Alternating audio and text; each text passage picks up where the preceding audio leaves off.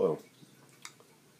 Welcome back to my uh, YouTube channel um, for another rousing video. 15 minutes of Metacore quality and kind of the same thing that you get every time that somebody with an opinion jumps on YouTube with a webcam. Anyway, so first off, forgive me for being sick here a little bit. I had the I had the flu for the last three days, and I'm okay now, just recovering. Anyway, so forgive me if I uh, sound funny or if I break into a random course of hacking up my lungs. I can't really help it. Anyway, so the point of this video and what I wanted to address was actually something I felt inspired to talk about when I watched a video earlier. It was an interview by MSNBC by their interviewer, uh, I believe his name was Matthew Bashir. And he was interviewing the author of Love Wins, Rob Bell. Now, whatever your stance on the on Love Wins and Rob Bell, it wasn't that that jumped out at me. It was a question that the interviewer actually asked him. This interview came out at the time of the uh, the tsunamis in Japan when they completely ravaged the coast. And he asked him this question in relation to that natural disaster. You know, is God all powerful and does he not care about humanity? Or is he caring for humanity but not all powerful? Now, whatever the pretext or whatever that he went for, I I'm not even going to get into that. The point of this video is to answer that question because I found myself in a very interesting place listening to this video, watching Rob Bell's reaction, um, which he gave a he gave a decent answer, though not a little evasive, admittedly. I thought, anyways. But the point of it is, is watching that video and hearing that question is that I, given the choice between option A and option B, I had to go with option C. And that simply being the point that God does care for humanity greatly, but He is also all powerful. So, that brings up an interesting circumstance. Why do bad things happen then? Why does He allow them? If He cares for us so much, then why does He allow us to suffer? And if He is all powerful, then why wouldn't He stop it? Well, the truth of the matter is, is, for as many people ask this question, it's actually a pretty simple answer. And it was answered in Genesis. And it's simply that we chose this. As as obscure as it is, um, or as hard as it may be to swallow, it was our decision that led us to a world where there are things that are beyond our control and there are things that he doesn't control. And that's not to say that God can't, as you can glean looking through the scriptures. I mean, he can come to the earth in the form of a pillar of fire and lead the Jews. He can lead storms, the seven plagues against Egypt. Uh, you go down the line, on and on and on. And yeah, God has full reign over all the earth. But that doesn't mean that he controls everything all the time. Unfortunately, there's a degree of chaos that was introduced into this world when we brought death into it. See, in the garden, he created it perfect. He made everything as it was supposed to be. Now, he told Adam and Eve not to eat of that fruit, the knowledge of good and evil. They did it anyway. Now, you can debate all you want as far as the value of the serpent, but at the end of the day, they chose to listen and they chose to eat.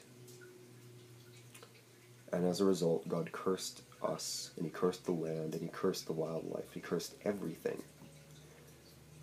This was the fall. And that was the beginning of it. See, He told us in the beginning not to do this. And see, He did care enough to tell us not to do this, and on top of that, He cared enough to provide us the way to be redeemed back into that relationship that we had, into that lifestyle, into that place that we were. It's still there. It's just we have to change. Something that we don't really seem very great at doing or willing to do all the time. Anyway, the point is is that when he he understood the ramifications of what we are going to bring into the world. That's why he told us not to do it in the first place. Lo and behold, we did it.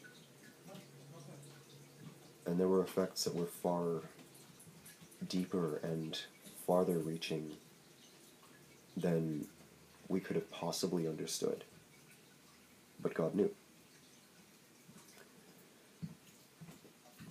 Among those ramifications were death, destruction, decay, loss, time.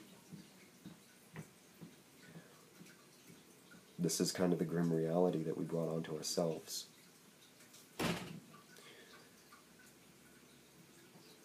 And unfortunately, as children of Adam and Eve, we share in that curse. We've lived in this world. And, you know, he's repeatedly tried to pull us out of it, starting with Abraham, then Israel, the entire nation of Israel,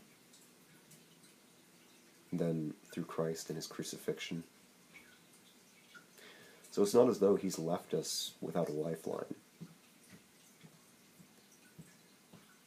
He's thrown us it out there at us over and over and over again.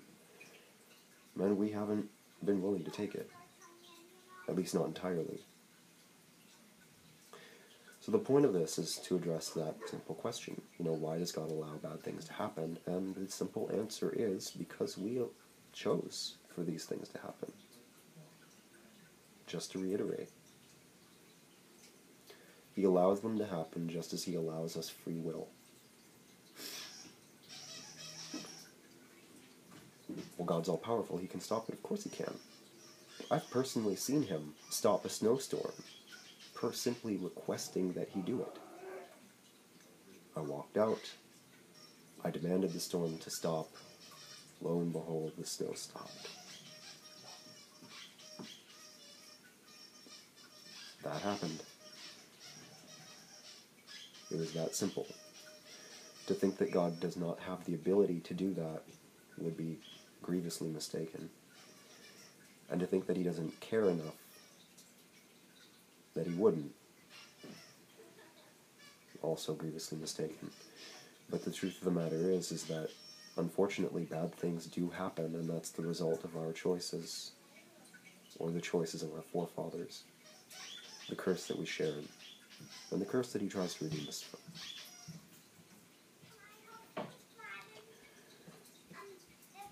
Anyway, so as to his power, as to his care, it's all there.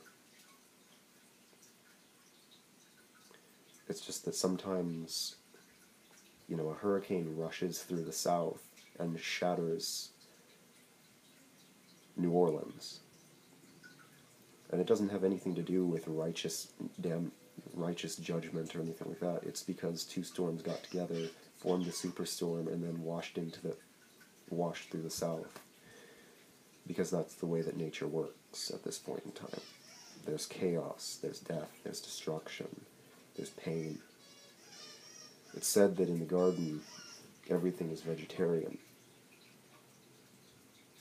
Well, biologically speaking, you know, animals shouldn't be able to, you know, certain animals are designed to eat meat.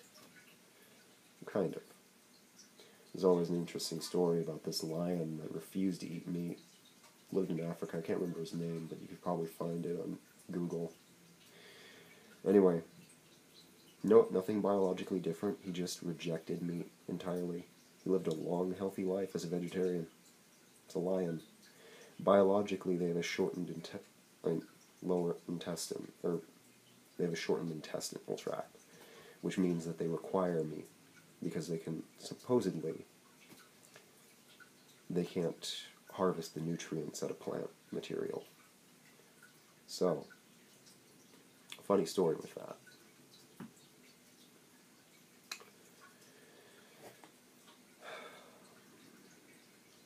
Now, as it relates to the whole bad things happen deal,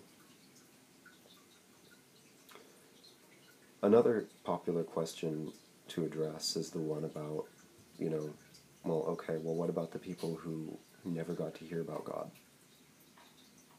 It's a fair question, as there are plenty.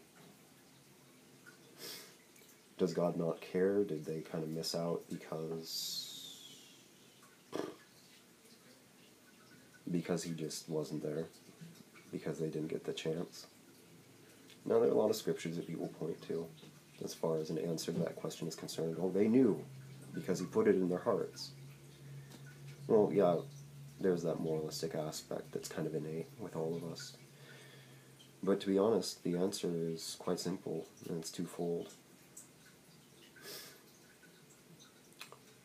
One, is that it's not our job to define what God does with the people who didn't know Him.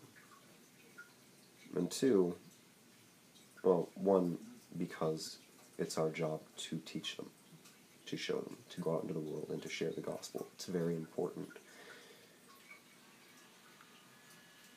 Because God wants a relationship with everyone now.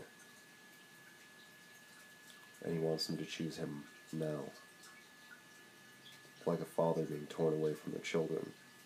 You don't want to wait for them to get a little older to be able to accept you. You want them now. They're your babies.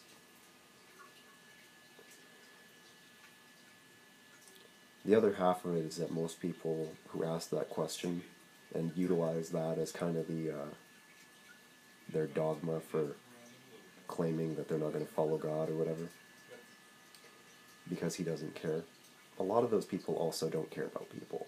About 60% of the people who I've heard make that argument will in the same will in a different conversation state that the entire human race needs to be extirpated for the sake of the earth. The humanitarian thing is BS. It's just an excuse. But to answer that question very simply, and or rather to posit a possible answer to that question that may be a little less damning, then uh, stop asking that question and do your job is this.